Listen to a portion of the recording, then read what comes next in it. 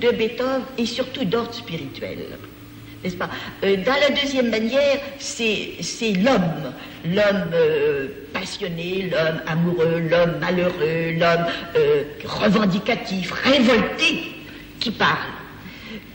La cinquantaine venue, car on était, à l'époque de Beethoven, on était plus vieux, plus jeune. Parce qu'en somme, il n'a jamais été, jamais été ce qu'on appelle vieux. Il est mort à 57 ans. Bon.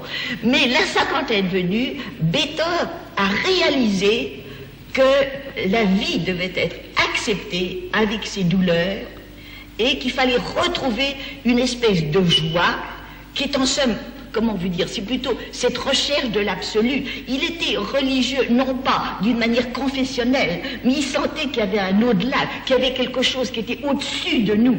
Et c'est cette aspiration vers l'absolu qui fait que le troisième Beethoven a un accent tout à fait différent du second. Voilà pourquoi c'est une telle leçon. Les, romantiques n'ont pas profité de la leçon du dernier Beethoven. Ils se sont bien cantonnés dans la forme romantique, c'est-à-dire la forme classique élargie avec l'expression personnelle, le côté amour, le côté souffrance, le côté euh, sentimental, si vous voulez, n'est-ce pas?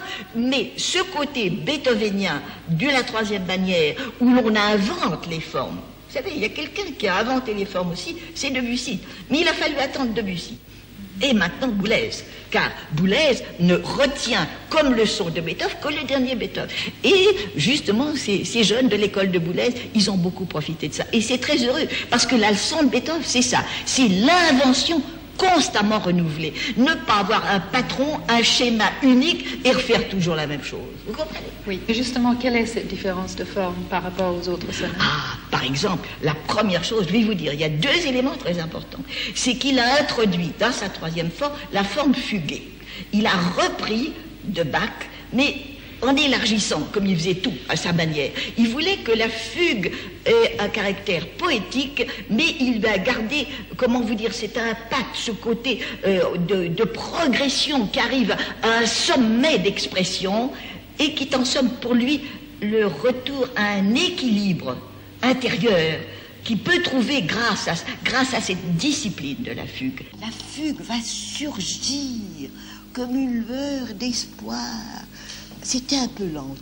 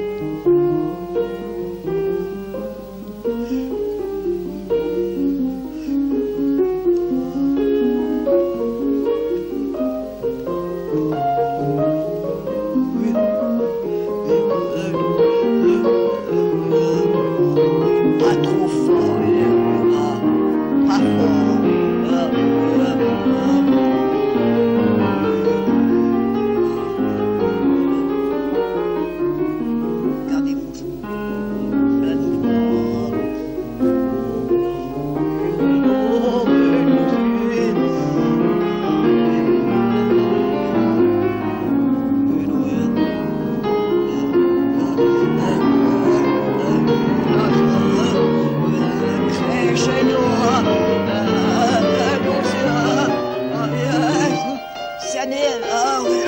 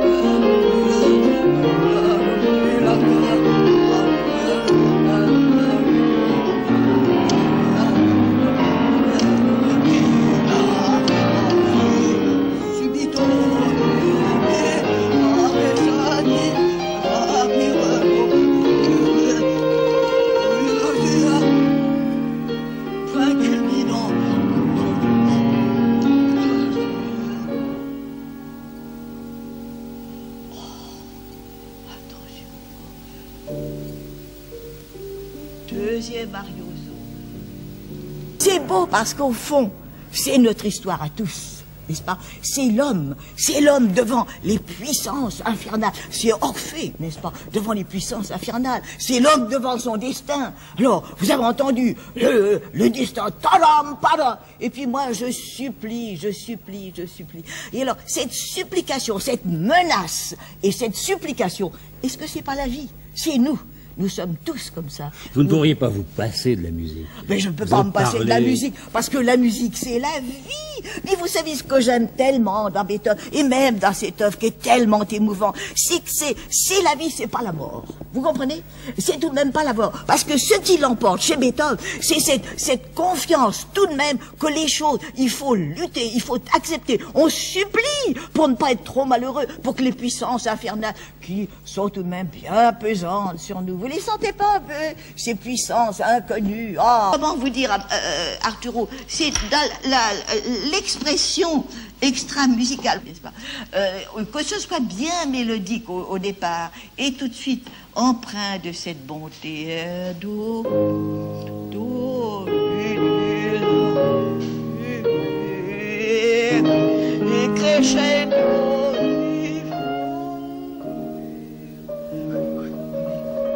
encore.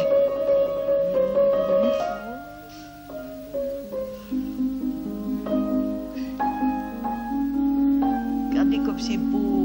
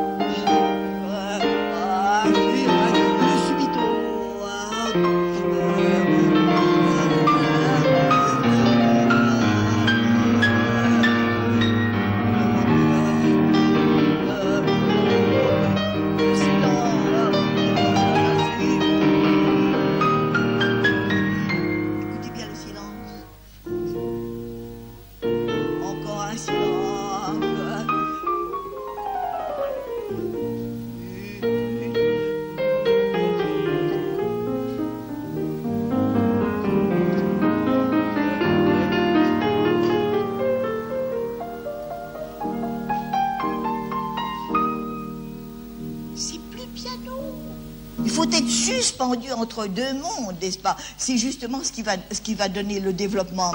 Et, mais ça, c'est une erreur.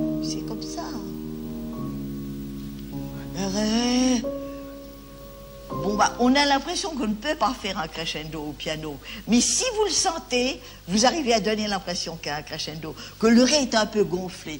Vous voulez recommencer un tout petit peu ça, n'est-ce pas? Vous voudrez que ce soit un peu plus parlant. Par exemple, cette phrase, ça, c'est l'introduction. Et là, c'est comme une sorte de, chant de flûte qui, qui surnage. Faut retirer votre pédale à fond, hein Voilà comment ça doit sonner. hein. Ah, mais jusqu'au bout.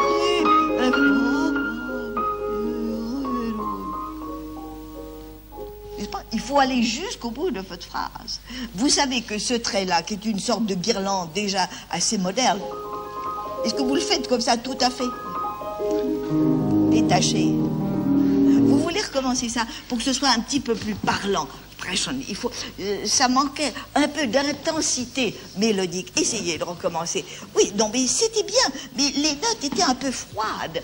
Vous comprenez? Il faut pétrir votre clavier. Il faut pas jouer du piano, il faut chanter ou jouer du violon. Alors, euh, nous pouvons certainement avoir une, une- impression plus intense de la sonorité, là. mais le doigt, le doigt doit chanter. En fait, voilà encore un ce début-là. Le do, c'est tellement beau. Voilà. Tenez-vous neutre. Euh, faites sans crescendo. Long, long. Très bien.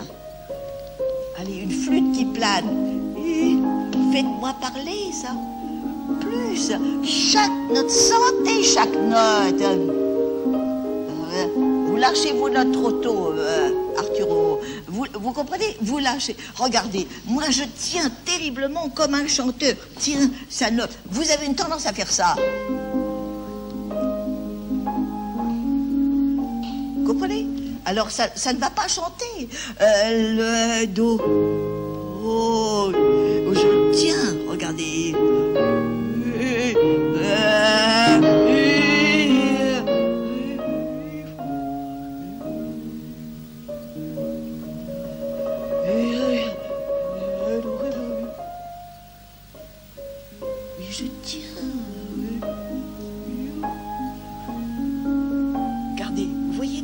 Jusqu'au bout. Essayez de me trouver cette couleur. Vous savez, la sonorité au piano, c'est presque la moitié. Euh, Faire parler la note. Mais si vous n'avez pas un contact avec cette note-là, un contact durable, vous comprenez Comme le violon qui fait son, son vibrato. Vous, vous jouez la note et vous la lâchez. Vous le sentez très bien, mais votre doigt n'est pas assez en contact assez longtemps avec la note. Vous voulez recommencer ça? Euh, essayez. Euh, do- Bien, très bien. Parfait. Voilà. Et le crescendo, pas trop vite et subito. C'est déjà beaucoup mieux. Allez, allez-y, librement. C'est une guirlande. Et maintenant, planer. Je dois être plein, en plein ciel maintenant. Do, mi, la, la. Ça doit planer. Continuez. Do. Jouer de la flûte ou du violon ou chanter. Je veux pas du piano.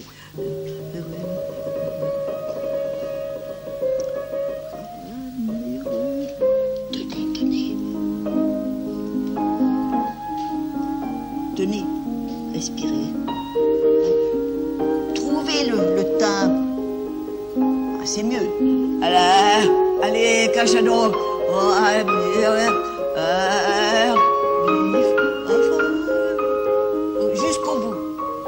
Pourquoi est-ce que ce ré, do, mi, ré, sol Vous n'aimez pas cette fin de phrase? Mi, ré, do, mi, ré, sol. C'est encore expressif. Vous comprenez? Vous la laissez tomber, votre phrase. Ah, mi, vous faites ça. Ré, do, mi, ré, sol. Euh, fa, mi, Alors ici, c'est tout à fait quatuor. Jouez-moi du quatuor.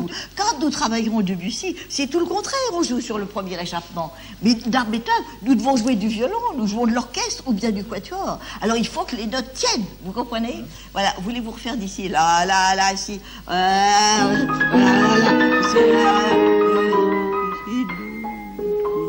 Voilà.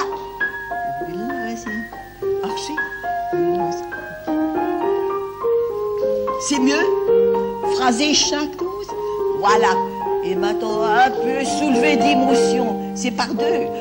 Ti, la, ti, la, di. Alors, un beau crescendo. Allez, allez. Ah,